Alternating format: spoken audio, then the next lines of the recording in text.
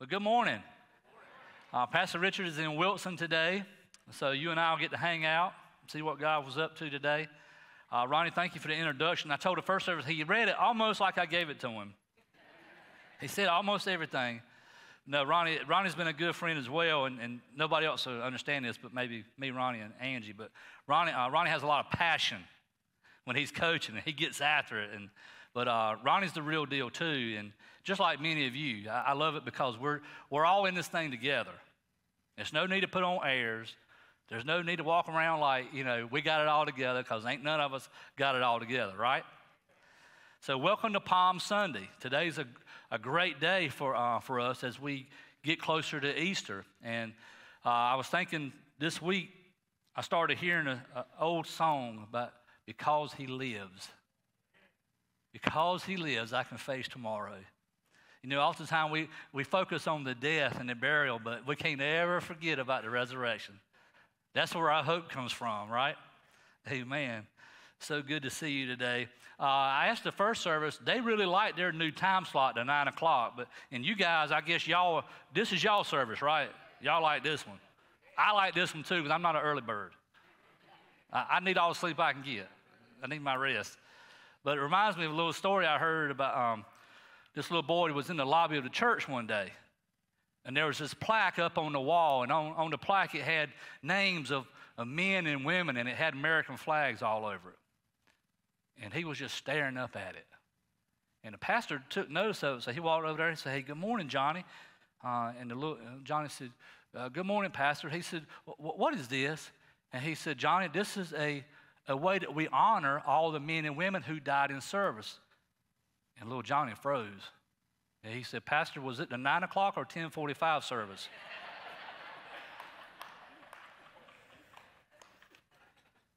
I also heard about this pastor who was getting ready to um, preach a sermon and he was making announcements. And he said at the end of the service, uh, we're going to have a meeting of the church board in the back of the sanctuary. So after the service, the church board started gathering around, and the pastor noticed that there was a stranger among them. And so the pastor walked over and said, Friend, he said, maybe you misunderstood. This was for the, uh, the church board. He said, Pastor, I understood completely. He said, and I was just as bored as anybody else.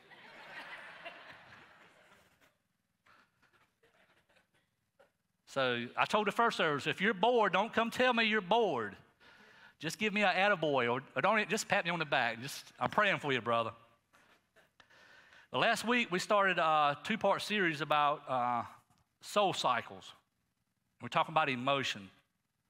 You know, and I was thinking this morning, um, you know, we're a Pentecostal church. And Pentecostal sometimes gets a bad rap because some people say, oh, it's just emotionalism. And when I was watching Carolina Michigan State yesterday, y'all, I had some emotion going on. Is there something wrong with that? I've been to ball games and I've seen people stand up and cheer and, and, and slap one another and kiss each other. I mean, they go after it, don't they? That's the same thing we need to do when we come in here. I'm not ashamed of the gospel. I'm not ashamed of my faith in Jesus. He's been way too good to me. And sometimes it is out of emotion. But sometimes, boy, the tangible presence of God will come down and lay his hand on you right where you are. So don't ever worry about that. Don't, who, ah, who cares about that? But we've been talking about soul cycles and emotional and things that maybe Jesus felt as well. And one of the things we talked about last week, we're going to do a quick review. We talked about how our, our bodies, we're, we're components, that we are, we live in a physical body, and we have a mind, we have a spirit, and we have a soul, and out of our soul is where our emotions are. That's where it comes from. And I love that because if you remember, when Jesus was asked one day, what was the greatest commandments, he said, You must love the Lord your God with all your heart, all your mind, all your soul, and all your strength. So, so it must not be enough for me just to love God in my mind and be tormented with my emotions and my soul. It must not be enough for me to love God with my soul and my mind, but yet my strength, and I'm doing everything in the world opposite what God wants me to do. I got to love Him with all, all of me. When we do that, when we fall in love with Jesus and surrender all of it, oh man, it takes you to a new level. But we're talking about cycles. The definition of cycle is a series of events that are regularly repeated in the same order. And we get into cycles of emotions, the cycle of, of causing us to make the wrong decisions a lot of times, the wrong choices, the wrong reactions. We react in ways maybe that we shouldn't. And what it does is sometimes it'll hinder. It'll hinder our life, it'll hinder our walk, it'll hinder our witness. So we look at Jesus. Who better to look at, right? And what I love about Jesus is because he came and he took on, he came and took on this, this flesh. The name Emmanuel means that God with us. And although he was fully God, he was fully man. And so he knows what it's like to be hungry and thirsty. He knows what it's like to be hot and tired. And I'm sure sometimes maybe he, he was in a bad mood. I mean, I don't know, but he was a man just like me. I'm sure when he woke up in the morning, he didn't just, as soon as his eyes flung up, he started singing, This is the day that the Lord has made. I mean, some mornings he probably had to, oh, you know, I don't know. But he knows what you're going through. He's felt what you are feeling. I can relate to that. I love that. This is what Hebrews says about it. Hebrews chapter 4, it says, The high priest of ours understands our weakness. Now, who's our high priest? It's Jesus. Jesus, our high priest, understands our weaknesses, or you could say he understands our emotions. For he faced all the same testings that we do, yet he did not sin. So let us come boldly to the throne of our gracious God. So we don't come in our own strength. We can come boldly. There we will receive his mercy and we will find grace to help us when we need it most. So aren't you thankful for that today? Now, one of the things that Pastor talked about last week was anxiety. I thought he did a great job, and I love the fact that he, he was transparent about his own anxiety at times, how he struggles with that. There's no need to try to hide it. We all go through some of the similar things. And in 2020, there was 30, 36% of people showed signs of chronic anxiety, and it's probably higher today. But Jesus had moments of anxiety and that's what he talked about us last week was in the Garden of Gethsemane when he knew what was about to, about to take place. But here's what Jesus did. First of all, Pastor said that he talked, Jesus talked to his friends. So if you're battling anxiety or stress or depression, man, don't mask it. Don't try to be like, oh, I got it. I, I got it. I don't need, and certainly don't get isolated. Talk to your friends. Talk to your inner circle. Talk to those people who care about you. The other one was, he said he talked to his father. And that's what the scripture tells in Philippians 4. It says, Don't be anxious about anything, but pray about everything. Talk to your father. And then Jesus talked to his feelings. If you remember, he said, God, if there, if there be any other way, let this cup pass from me. Then he said, Nevertheless, not my will, your will be done. So Jesus was saying, I know I'm feeling this anxious right now, but you know what? This will not stop the will of God in my life. And that's what we have to do. We have to have those moments where we talk to ourselves. I used, to, I used to be a manager of a, a bottled water company, and sometimes, you know, when you manage like 12 or 13 people, it can be stressful. You, know, you got trucks breaking down, people calling in. There's always something going on. You got your boss man on you. I, there was plenty of days, man, I would go be on my way to uh, home from work, and I was like, I got, I got to do this more. I'd call myself and leave myself a message on the phone. Hey, Troy, don't forget to do this, don't forget to do that. But sometimes I would remind myself, hey, Troy, you're doing a great job. Don't you let nobody tell you different. You're doing, you're doing great. And I would forget it. And the next morning I'd get in and I'd check my messages and I heard that, I'd heard that pat on the back, Troy, you're doing a great job. Sometimes you got to talk to your emotions. Don't let your emotions rule you. Come on, let's go.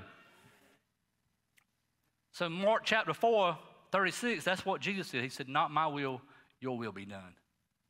So, it's time for us to change those cycles, stop those cycles. So, the first one we want to talk about today is anger.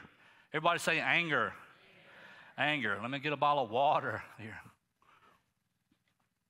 Y'all make me nervous. My mouth gets dry. When I was preparing this week, I read this article from Dr. Saxena Here's what they said about anger. It said anger is a normal and healthy emotion that everyone experiences from time to time. It is a natural response to frustration, injustice, or threat. Anger can motivate us to, make, to take action to protect ourselves or to stand up for what we believe in. That sounds good, don't it? Anger is a normal thing.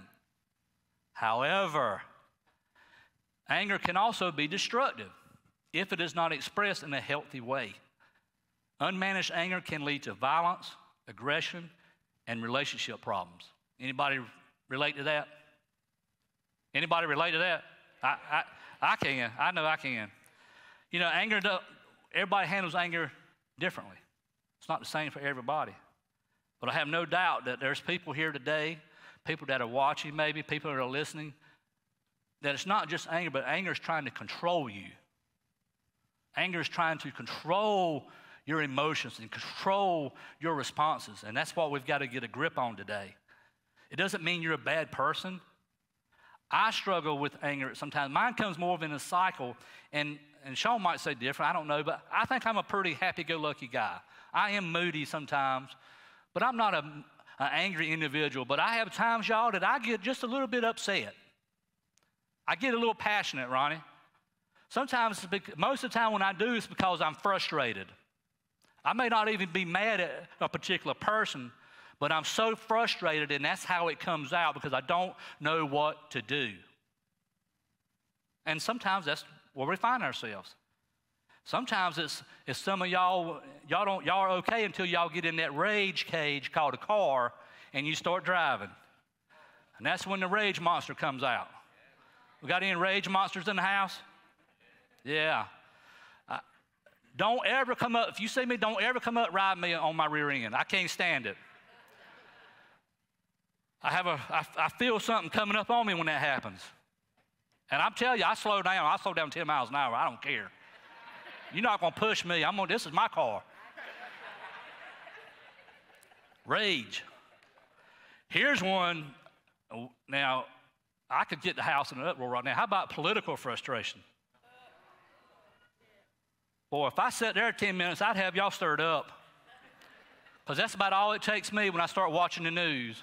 And I get frustrated when I hear all this garbage. I hear all this crap that our government's doing. I don't like where we are. I don't like where, where we're headed. That's why we got to pray for them. It don't matter what side you're on. And the thing about anger, man, there's so much anger now in politics. And, and one president, we can't understand some of the things he says, and then we got a former president, we wish he wouldn't say things he said. Ain't nobody perfect. Nobody's got all the answers. He's got the answer. Anyway, I'm going way too far off of here. Maybe it's your job. Your job, you could be stressful. Maybe it's your, maybe it's your young kids or your teenagers, maybe pushing your buttons too much. And you're getting in a cycle of anger. And now it's, uh, Sean's even made mention sometimes when me and Noah been in schoolwork, y'all pray for me. I don't like school. I'm not even in school and I don't like it. And Sean will come home sometimes and we'll, me and Noah might be arguing about something because I'm frustrated. And she'd be like, uh, This is the atmosphere. And I'm like, I'm sorry. Please show mercy. I'm trying to help this youngin'. It could be your marriage. Maybe you guys are lashing out at each other and there's, there's tension and, you know, and all these different things. It's a cycle of anger. Did Jesus get angry? He did. He did. Jesus was, his anger was more of righteous anger. It wasn't the soulish anger like we know.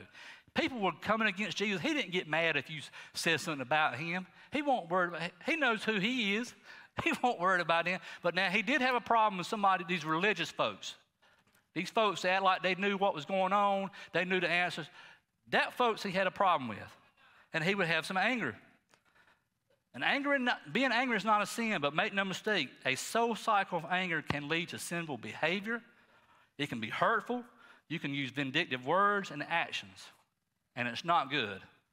Uh, I told the first service years ago, Sean uh, got a pers- subscription to some magazines. Sean, you probably forgot about this.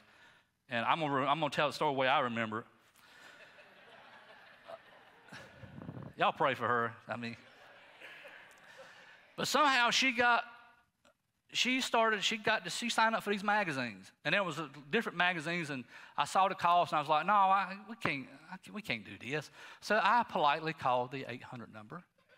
And I talked to the gentleman on the phone and was trying to explain to him that we were we did we did ask for this, but we respectfully declined and we would like to get a refund and stop the payments.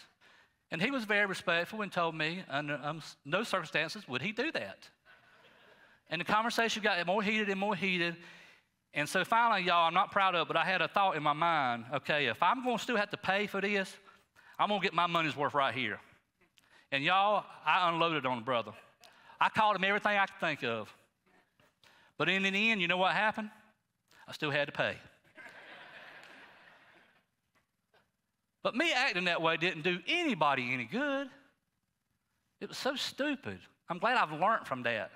Now, most time, if I get really angry, I get quiet and I'll start doing stuff around the house. And I think Sean figured, don't tell her, I think she figured that out.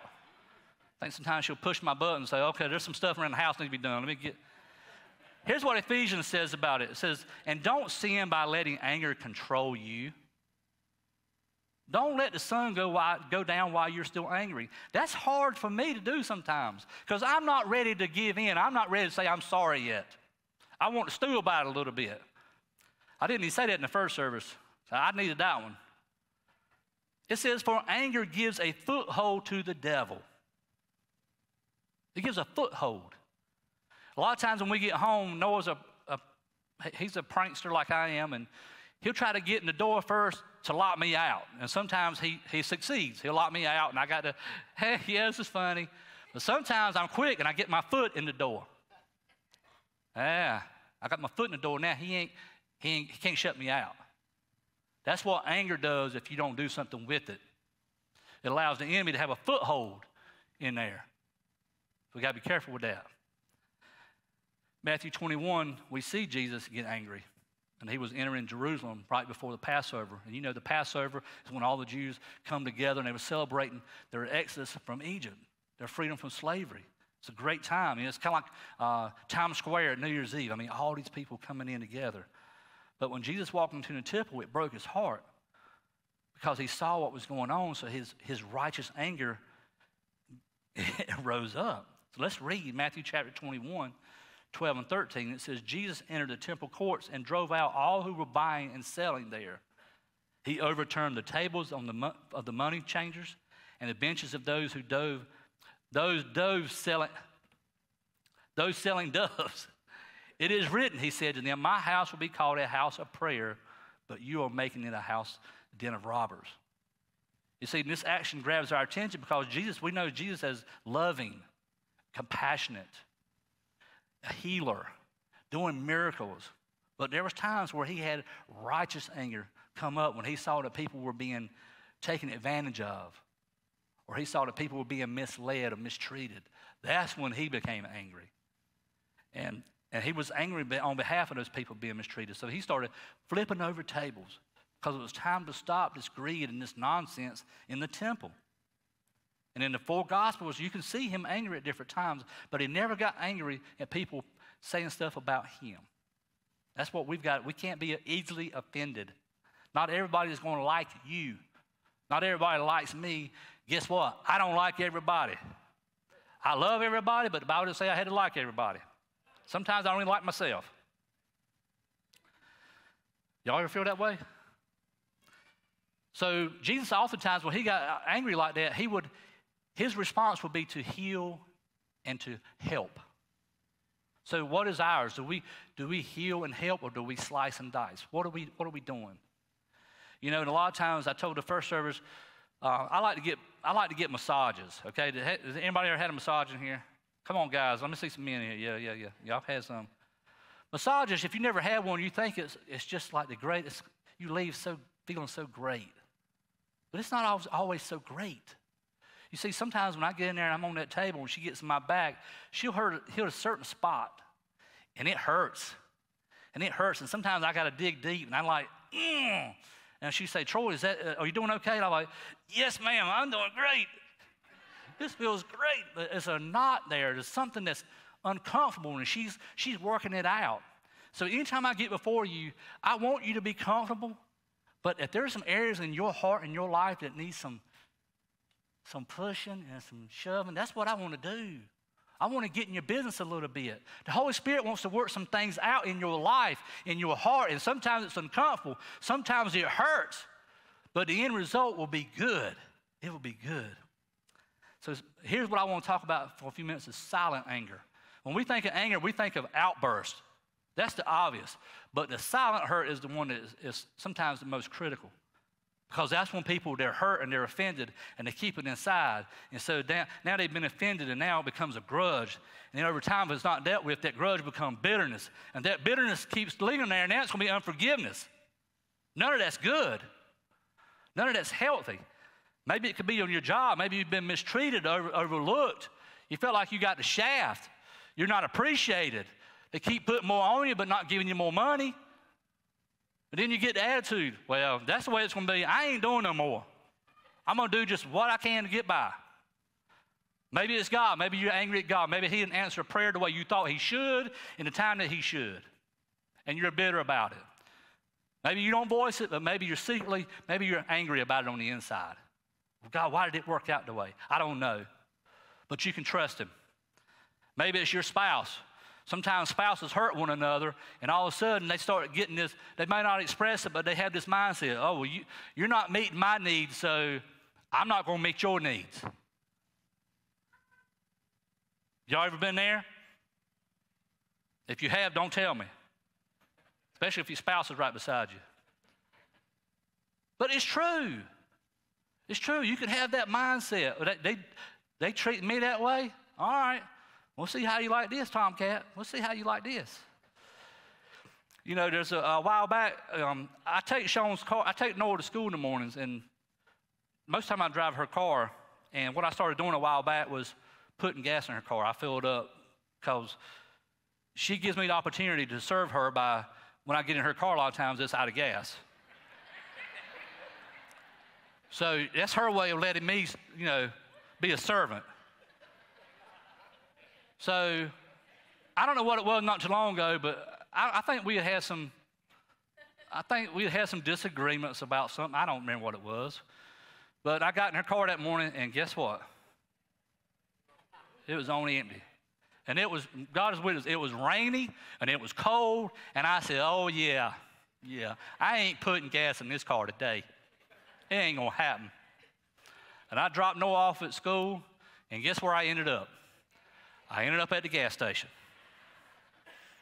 Do you know why I did it? I didn't do it because I felt like it. What's feelings got to do with it? That was my opportunity to say, Troy, you're not going to let your emotions take the best of you right here. You're still going to put gas in this whether you like it or not.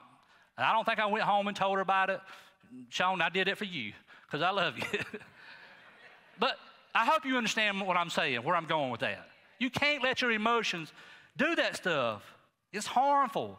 So do an audit on your emotions today, on your anger. Are you angry?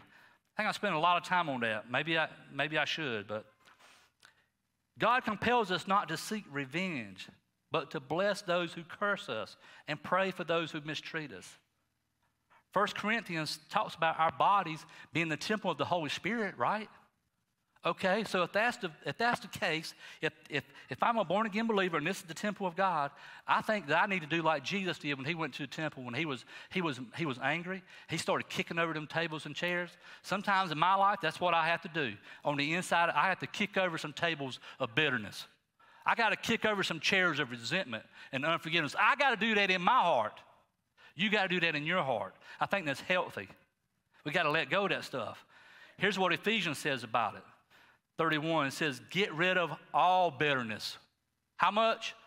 All bitterness, rage, anger, harsh words, and slander, as well as all types of evil behavior.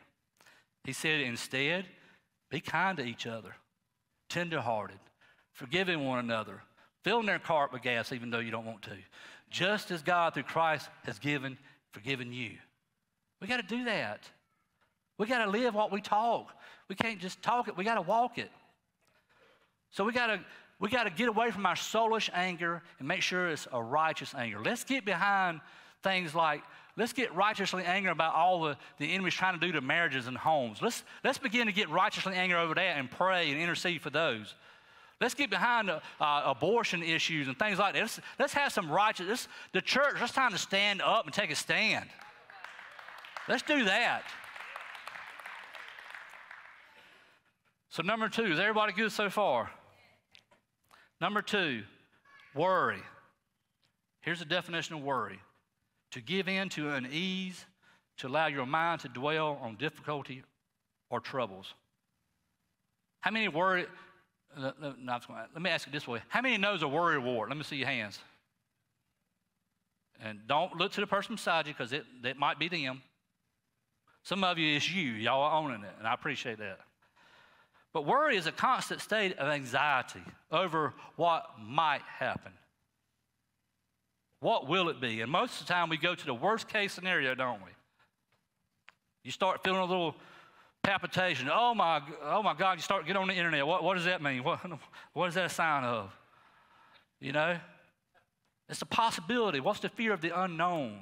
It's, it's when concern turns into worry, it crosses that line. We all have concerns, but it's when it, the worry begins to take over. We need to live in peace. Here's what Isaiah 26 says You will keep in perfect peace all who trust in you, all whose thoughts are fixed on you. See, when you start having those times, fix your eyes on Him. Fix your eyes on Him where your peace comes from. Because worry can't take away tomorrow's trouble, it only takes away today's peace. Say it one more time. Worry can't take away tomorrow's trouble, it only takes away today's peace. I remember one night we, um, it, it was turning cold, and I cut the heater on, and I noticed instead of me getting warmer, it was getting colder. So I went and checked the thermostat before bed, and sure enough, it was running, but it wasn't no heat coming out. And so I laid in the bed, y'all, and I started, I almost crossed over. I started thinking, oh my God, this, this heat system is going out, and I'm going to have to get a new heat system. How much is that going to cost? How am I going to pay for that? And you know what? I'm thankful God that instance, I said, no, I'm not going to sit here and dwell on that. And I went to sleep. I got it right that time, y'all. And you know what? The next day I got up, you know what the problem was? I just needed my tank refilled. I was out of gas. But I could have stayed awake the whole night worrying and fretting. Oh my God, what if, what if, what if? Thank God I didn't. But that's what worry will do. It will rob you of your rest, it will rob you of your peace, your joy. It'll just tear you down. Can't live like that. 60% of Americans struggle with worry and stress every day. And it's, and it's growing. This never ending weight that you carry around and it just robs you. It just robs you in your mind. Here's what 1 Peter 5 7 says it says, Give all your worries not some of them, all your worries and cares to who? To God. Why? Because He cares about you. He cares about you, Cody. He cares about you. He cares about you watching and listening. He's concerned about you. He's for you, not against you. Cast your cares on Him. See, when you meditate on these things, that's when peace begins to come in. Worry is rooted in fear. Faith is rooted in trust. Let's, tr- let's choose faith. Most things you worry and fret about don't even happen anyway. They just don't. You can trust God today. You know what? Sometimes your family will let you down. Your government will let you down. Your job, your BFF. You even left your, you even let yourself down. But God will never let you down. He is faithful. And if God be for you, who could be against you? So let's choose to do that today. Let's choose to change that cycle of worry. And let's choose faith. So we don't read anywhere that Jesus struggled with worry. However, he did talk about it in Matthew chapter 6. And this is the command that he gave us. He said, Do not worry about your life. And that's always easier said than done to the person who's in the situation. I get that. But Jesus in this parable talked about a little bit, he talked about how don't store up for yourselves treasures here on earth. Don't store up where uh, rust and moss and people steal in and take it. What he was saying was, he don't, God does not care if you have money and things as long as money and things don't have you. Okay? And I can promise you, if you ever get to the point where you begin to live generously in your life and you begin to let it, when you get, when God gives it to you, you give it out. When you live a life of generosity, He, you won't have to worry about it stuff. You take care of His business, and He'll take care of yours. Guarantee. Guarantee. But here's what He said in Matthew 6 25. He said, That is why I tell you not to worry about everyday life, whether you have enough food and drink or enough clothes to wear. Isn't life more than food and your body more than clothing? It's just so simple. Look, when we send, when I drop Noah off to school tomorrow, I can guarantee you he's not going to be in class thinking, Am I going to eat today? Am I going to have food today? He's going to be worried about what he's going to eat, ain't he, Sean? He's a growing boy. What we, what we eating, Daddy? What we eating? I, I understand. He don't go to school about, what, what am I going to wear? Am I going to have anything to wear today? Am I going to have clothes to wear today? No, because Father, because his needs are met. He don't live in that mindset of worried about what's going to take place today. Am I going to have this or that? He's not worried about that. That's the same way with us. We need to get to that point where we trust Father. Father knows best, and he said at the end, he said, if you seek me first, the kingdom and my righteousness, all these things will be added unto you. So you don't have to have that, that worry. You don't have to carry that burden. Let him loose you from that. He's got you. He's got your life. He knows the beginning from the end. And you don't see it, you don't understand it, but I can promise you, as you surrender yourself to Him, all of a sudden you'll look back. Sometimes you don't know what to do. Sometimes it's doing. Sometimes it's just standing and saying, "Lord, I trust you." Sometimes it's taking a step of faith. Sometimes it's just stepping out.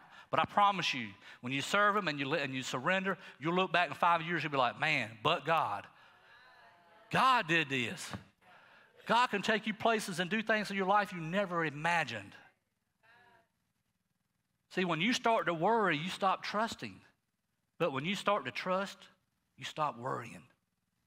That's what we got to do. Need to change those thought patterns. Change them. Because he said he would give you everything you need. So today, if you've struggled with worry, that cycle where you, nah, let it go. As Elsa said, let it go, let it go, let it go. Put your trust and faith in him. He'll provide for you. The last one, one more I want to talk about real quickly, is sadness. Is sadness. There was moments where Jesus felt sad. There's one in Luke, Luke chapter 19, 41. It says, But as Jesus came closer to Jerusalem, he saw the city ahead and began to weep. And he began to weep because when he saw him, it, it wrecked him, and he said, I, I want to, he wants to bring them close. It was making him sad because he knew that they weren't, go- everybody was going, well, not everybody, but most people were going to reject what he, what he said, what he did. He knew the rejection was coming. He, he'd been pouring out himself, and it hurt him so bad it just it brought him great sadness to know that what was about to happen, although it had to happen.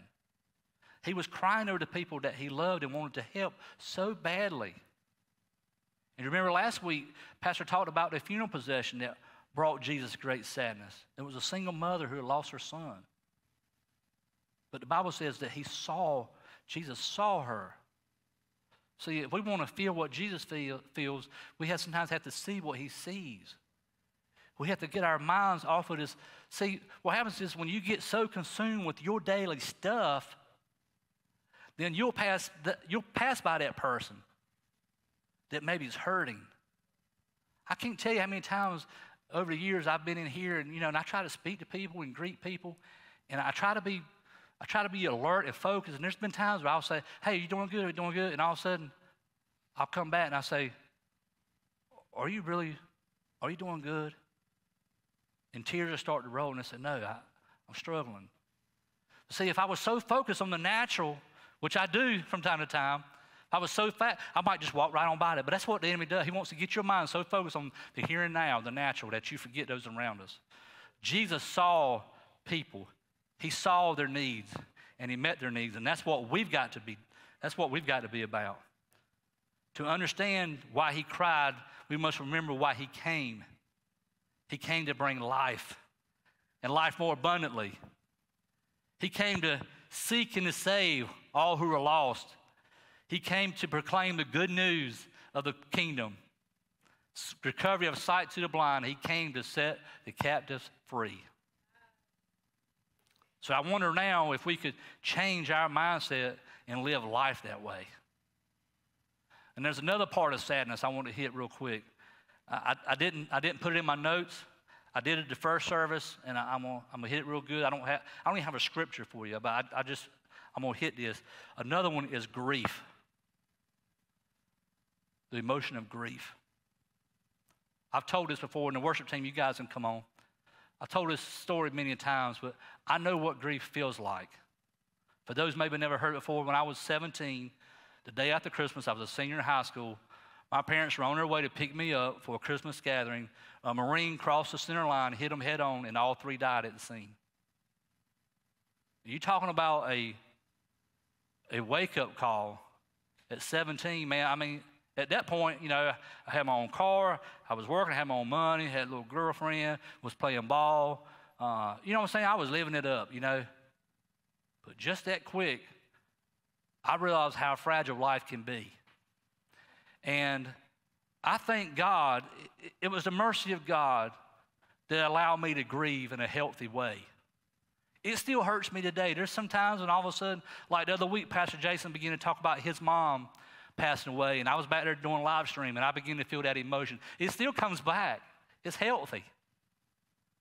But sometimes people, they, we don't handle grief the same way. Everybody don't. So oftentimes I pray in my prayer time, God, I pray that they would have a healthy grieving process. Because some people stay in that moment of grief for years and they can't get over it. And I'm not here today talking about just a death of a loved one or a friend. Maybe Maybe you did all you could do, and your marriage did not make it. And you, you feel this grief, you feel this pain. Why me? Why did this happen to me? And I want to encourage you today to let the grief, let the grief have its, let it do its perfect work in your heart. If you feel those moments to cry, cry about it. Don't try to cover it up and mask it. Embrace the pain.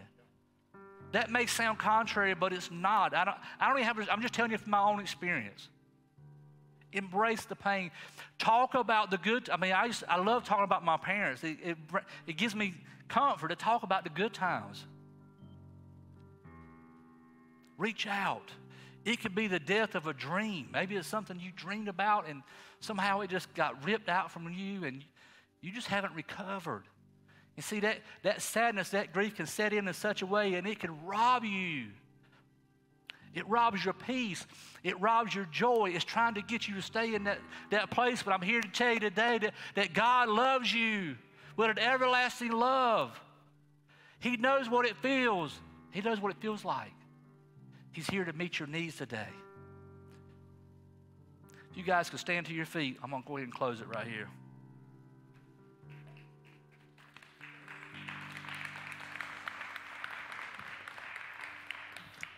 I don't know if that y'all clapping because I'm closing or just because it was good. I'm going to take it the right way. You know, it's so funny. We, uh, I was going to mention this earlier. I don't know why I'm mentioning it right now, just because I'm weird that way. But, you know, we can be so, we know the right things to say, we know the right things to do, but a lot of times there's power in our words. And just a couple weeks ago, I, I spoke on a Wednesday night down here, and I, I preached out of Matthew chapter 11. And I preached about our words and, you know, being called out for stuff. And, and I just didn't feel like, sometimes you just feel like you just didn't do it, you know? And I was out in the lobby and Miss Benika here, she come up and she said, Pastor, I took some notes. And I, I started saying, yeah, thank you, Miss Benika. I said, but I just, man, I just felt so bad tonight. I feel like I want, you know, I just going on, I just going on, just spewing. And she said, didn't, you won't you just in there preaching about words and what you say? I said, you know what? And I, I preached about calling people out. I said, you called me out too, didn't you? Speak life. Troy, speak life. When you feel like that you're a failure, speak life. Thank God for life. Hey, if you're here today and you never accepted Jesus as your Savior, maybe you've been in church, maybe you, you know about Him in your mind, but you've never surrendered your heart and never gave Him full access. I'm going to be right down here. If you would take a step of faith, come tap me on the shoulder and say, Pastor Troy, will you pray for me? I would love to pray for you. I would love to pray with you. If you were here tonight, I'm going to ask, I mean, today, I'm going to ask the prayer team to come back, if you would, as we close. If you're here today and you've struggled with anger, a cycle of anger, and you need to get rid of it, whether it's the outburst or the silent anger, maybe you're the worry wart. You got to let the worry go. Maybe it's sad, maybe it's grief. Maybe you're just struggling with something and you just need somebody to maybe put their arms around you pray for you. I want to invite you to come down. Come down and get prayer. God loves you. He wants to do it for you. Is that good? Does that work? So let's, let's take some time to worship. Come on down if you need prayer for anything. Prayer team, come on down.